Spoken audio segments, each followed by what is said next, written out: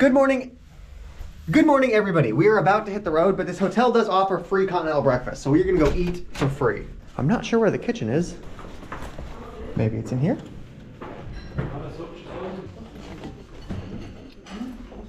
Look at this, they have actual honeycomb. This is probably the best meal I've had in months. Look at this, we got honeycomb and grapes and meat and eggs and tomatoes and meat and hummus. Oh, let's try the honeycomb first. It's very sweet.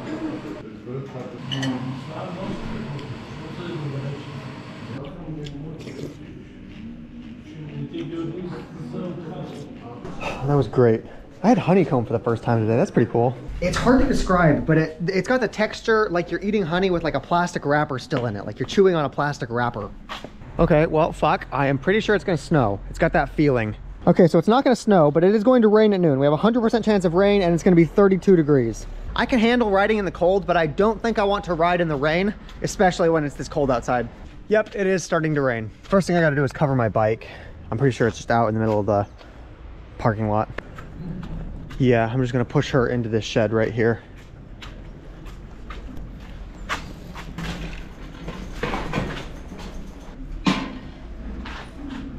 I'm pretty sure all of the things here are sort of waterproof. I just don't want to test that. This is much better. I want to extend my stay by one night. No. Okay, so they are booked up and I cannot extend my stay. Fuck. This is gonna be fun. It looks like checkout is at 12 p.m. So we have about two and a half hours left here. I'm not sure if it's gonna get worse or better. If you think I just spent two hours in the bathtub, you would be right. We have about 20 minutes left in the room and I'm still charging up my laptop. So I'm just gonna chill here and look out the window while it rains. Google says it'll only be raining for another hour or so, so fun. Oh, I did weigh myself. I weigh 139 pounds. I'm a little bit worried that the straps are gonna break carrying both batteries and my Diet Coke, so I'm using my shoulder to help carry it. Uh, one of the batteries fell out, made a really loud bang. Um, I hope it didn't break. If my bike explodes, that's probably why.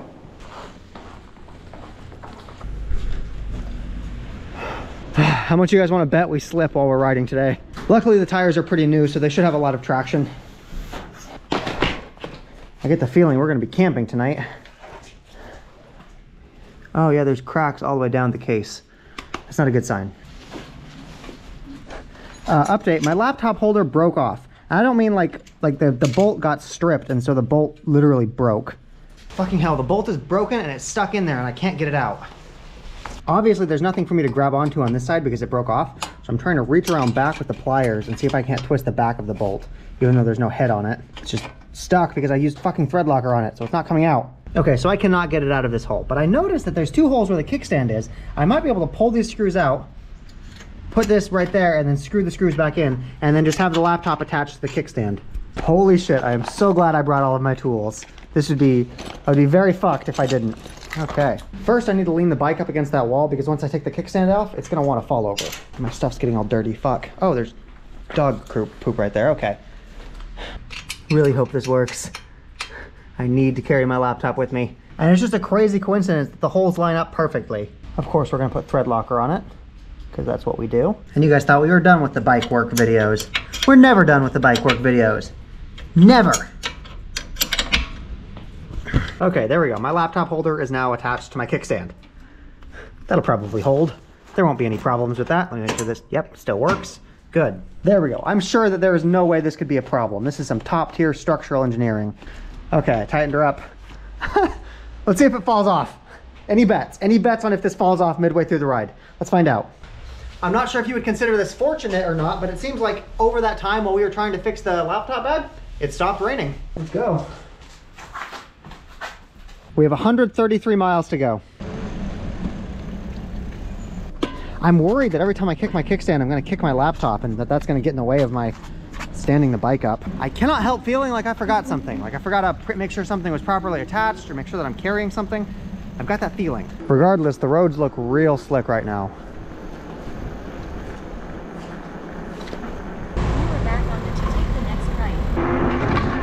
I'm realizing that there's a lot of puddles on the ground and all of the stuff near the wheel is gonna get super wet, like my backpack and my laptop. My laptop is gonna get soaked.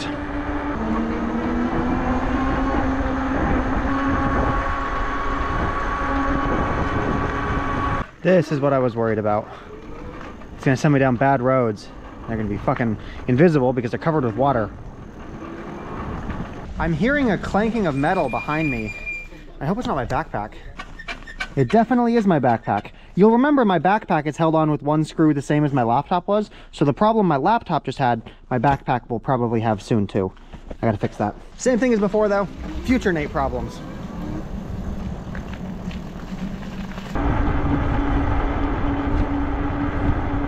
God, this would be such a cool place to set up camp.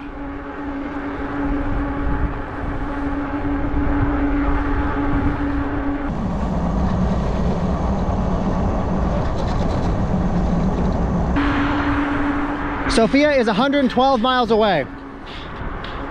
Okay, so bad news. I noticed that we've only gone like 23 miles and we were already like more than halfway done. So I checked the batteries. This one that we dropped earlier today, it's not even connected at all.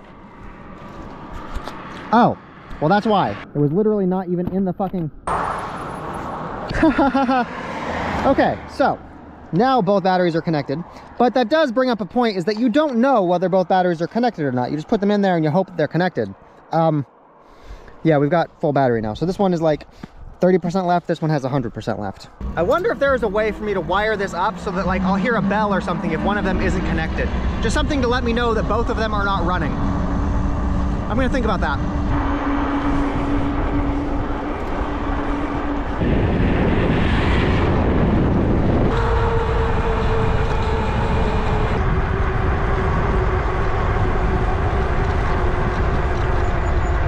Okay, I'm looking at the map right now and it looks like we're basically going uphill for the next like 50-ish miles. I'm not sure if we have enough battery to actually do that and I really don't want to get stranded in the mountains because I don't have a solar panel right now. Yeah, not sure if you guys can see this, but basically we're going straight up. This is so frustrating. I can't stop at a coffee shop to charge the batteries because by the time we're done at the coffee shop, it'll be pitch black outside. There's not enough daylight for me to actually ride, charge, and ride again. I only get one ride and one charge. We've only traveled 40 miles today. I would say we have maybe 25% battery left. I don't want to get another fucking hotel room. We're spending like fucking $40 a night on these things. Do you guys know what range anxiety is? It's a term that people use for electric cars. Where people are worried to take their electric cars on road trips because they don't want to get stuck in the middle of the desert and not be able to charge. I've never had that worry with these bikes because I have solar panels. I have that worry now. Oh, but hey, Google Maps says there is a Turkish restaurant around here, so we're gonna go there. Directions, yes. During the summer, I could wake up, ride a lot, charge my batteries, ride some more, and then charge my batteries again, and it would still be daylight outside. I believe this is it. Okay, now we get to test our little kickstand. Where'd the kickstand go? Come on. Don't break, please. Are you guys open? Yes. Oh, um, do you guys sell uh, Lahmacun? Llama June? Lahmacun? No? Okay, thank you. Google Maps literally says they have Lahmacun on the menu. Motherfucker. Fine, fuck it. It's not worth risking going up into the mountains and getting stranded. We will get a place to stay tonight. $31 for a deluxe queen room. It's 3 p.m. and the sun is already at the horizon. Oh, wait a minute. The apartment that I booked is literally like right there. That's cool. We will go ahead and grab some food before we head over there though. Here we go. It's a place called Pizza Calypso. Um, there's no pictures. So the pizza that I want, it says it's 5 comma 30 lev. I'm not sure if that's 53 or if that's 5.3. They only take cash. I would have cash on me, but I didn't think I was gonna be in Bulgaria this long because I thought I would be in Turkey by now, so I didn't replenish. I could go to an ATM machine and then come back, but I don't want to patron places that don't support cards. I'm just gonna go somewhere that will let me use my card. Oh wait, there's a bank right there. I could probably just withdraw some money. It's, it's worth it. I'll get some money and then go back. This bank does not have an ATM machine, which is odd. We're just gonna go find another restaurant then. If I see an ATM machine along the way, we'll stop there, but if that doesn't happen, we'll only go to restaurants that support my card. Well, look at that, I found a bank. So we could go back to that original pizza place, but I'm fine. We'll go somewhere else. They gave me $100 bill. I was hoping I would get a couple smaller ones. I've actually been in Bulgaria for over a month, and this is the first $100 bill I've ever seen. Like, I thought that the highest denomination they had was 50. And I've had people complain that I was giving them 50 before. I think 100 is gonna be really hard to break. That definitely sounds like a them problem though. And it's starting to rain again. I'm kind of glad I decided to get a place to stay rather than trying to ride through this. There's a little food truck style pizza place, but I can't read the menu. Google Translate for the win. I am ready to order. Do you speak English at all? Okay. Uh, can I get, I think it's called Map. I can't, I literally Wait. cannot read this. Cola Fanta? Uh, do you have Cola Zero? Yeah? Uh, Yeah. Zero no. No, okay, yeah, no, I'm fine, I'm fine. They had no problem breaking the 100. We have to wait here for them to make it. Okay, we got the pizza. It's big, it's too big to fit on my bike, so I think we're just gonna eat it here. It's got big globs of cheese. Hmm. This is really good.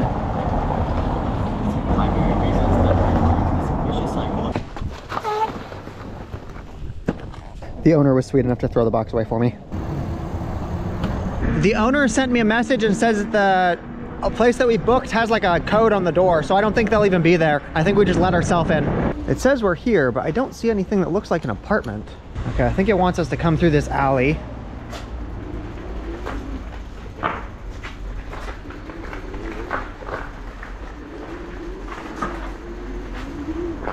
Think it wants us to go up those stairs. I've never actually tried going upstairs with this bike before. Let's see if it's easier than with my bike. This bike has the weight more evenly distributed between the front and the back. So it might be harder, honestly. Come on. Come. Nope, I cannot get it up the stairs. Then again, I'm not even sure what good it would do because I'm not sure if they let me bring my bike in there. I'm gonna leave the bike here while I investigate. Oh, is it in there? Oh, perfect. Thank you so much. Good thing I didn't put all that work into getting it up the stairs. Yes, okay, here we go. I'm still not sure where I would put my bike. They have a password.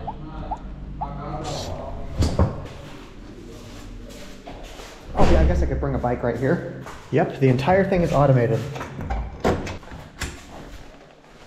Huh, yeah, I guess it's fine. Oh, it's got a nice balcony.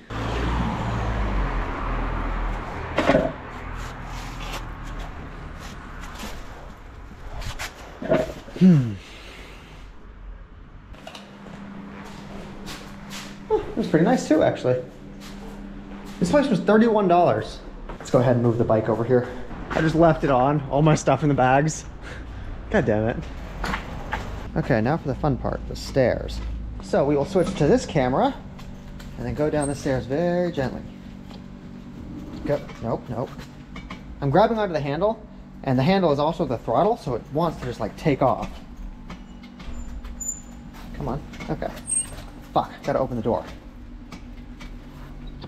Stay there, bike. If you fucking, if you fucking move, I'm gonna be pissed. Fucking, fucker.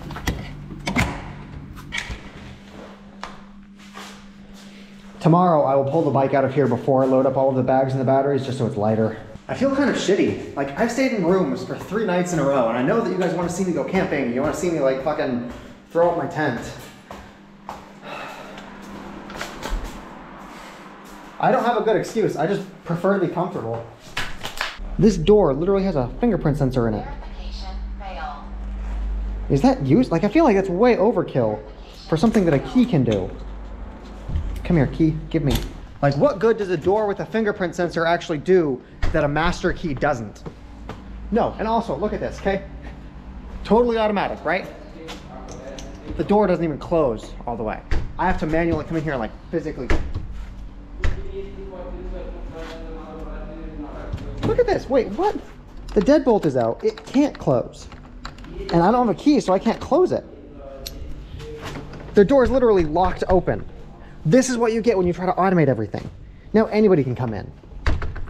I, what the heck? Like, as a software engineer, that is entirely what you would expect if you try to automate shit.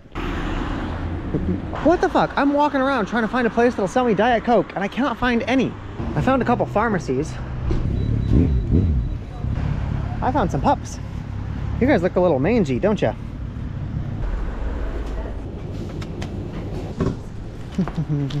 when I was getting the Coke Zeros, the cashier, she looks at them and she asks me, she's like, these are the ones without sugar, right? No sugar, no sugar. I'm like, yeah, I know. She's like, okay, no sugar. That's the point. That's why I'm getting it. Let's see if the door is still unlocked. Look at that. Look at how good this automated system is. That fingerprint sensor is really putting in work. My door, on the other hand, actually is locked. I do need the key to open my door.